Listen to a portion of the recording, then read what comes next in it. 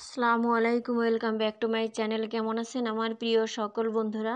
আমি তো আলহামদুলিল্লাহ ভালো আছি, আশা করি আমার বন্ধুরাও ভালো আছেন। তো আমাদের তো ষষ্ঠ রোজা শেষ হয়েছে, আলহামদুলিল্লাহ।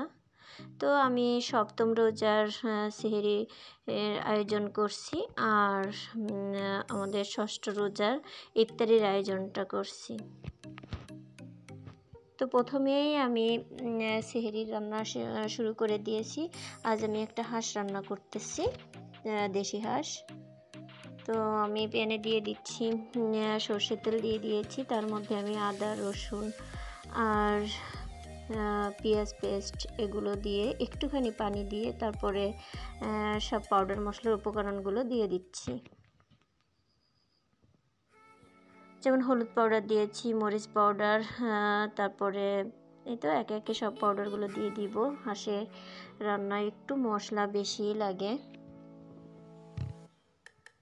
এখন একটু লবণ দিয়ে দিচ্ছি।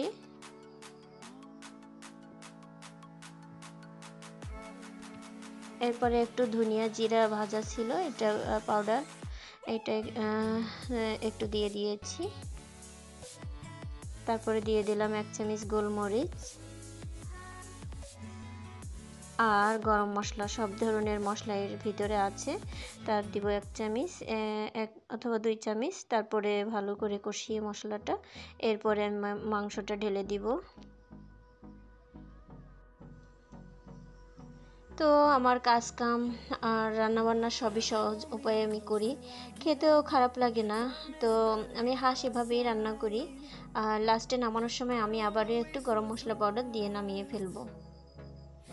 তো এখন আমি মশলাটা ভালো করে মাংসে মিশিয়ে একটু ঢেকে দিব। এর গা দিয়ে যতটা পানি বের হবে, অল্প মিডিয়াম আঁচে রাখিয়ে দেবো। তারপরে এর গা দিয়ে যতটা ঝোল বের হবে, ওটাতেই সিদ্ধ হবে আর ওটাতে ভাজা ভাজা করে তারপরে নামিয়ে ফেলব। ভাজা ভাজা বলতে মাখা মাখা করে নামিয়ে ফেলব।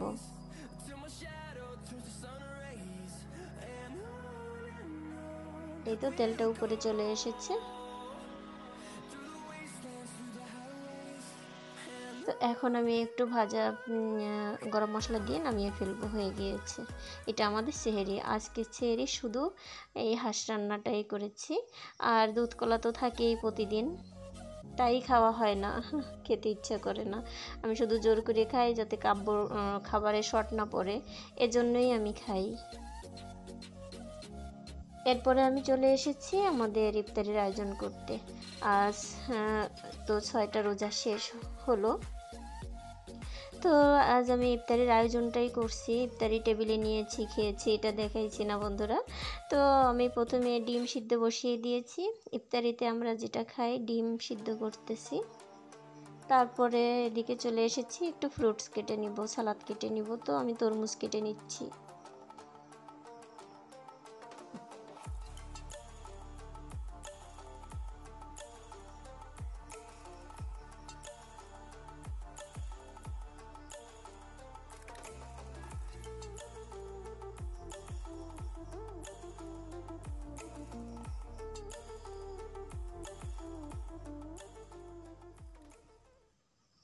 এরপর আমি একটু মালটা কেটে নিব, তারপরে আঙ্গুর নিব। এই তো এক এক করে সব কিছু আমি আয়োজনগুলো করে নিচ্ছি।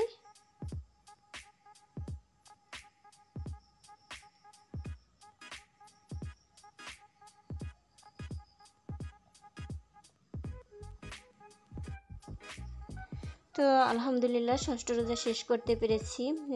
আল্লাহ তাল্লার কাছে হাজারো শুক্রিয়া।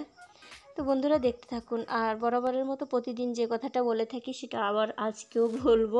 আমার চ্যানেলে যদি আপনারা প্রথম হয়ে থাকেন প্লিজ সাবস্ক্রাইব করতে ভুলবেন না। আর পাশে থাকা বেল বাটনটি প্রেস করবেন, যাতে করে আমি নতুন কোনো ভিডিও দিলে আপনাদের কাছে পৌঁছে যায় আর আপনারা সেটা দেখে নিতে পারবেন। আর প্লিজ আমার চ্যানেলটা যদি আমার রেকর্ডে কোনো একটু ভালো লেগে থাকে, তবে প্লিজ লাইকটা দিতে একেবারেই ভুলবেন না।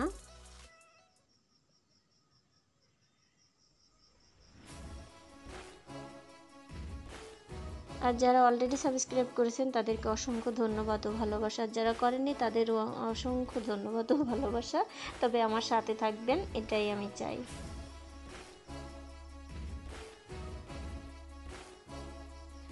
তো এতক্ষণ আমার পাশে থাকার জন্য আপনাদের রইল ভালোবাসা ও দোয়া।